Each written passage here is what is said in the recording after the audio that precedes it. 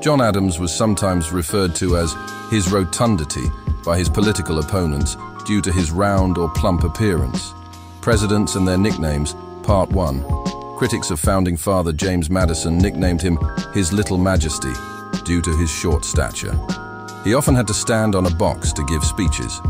James Monroe earned the nickname the Last Cocked Hat because he was the last US president to have served in the military during the American Revolutionary War and wore the traditional tricorn hat as part of his military uniform.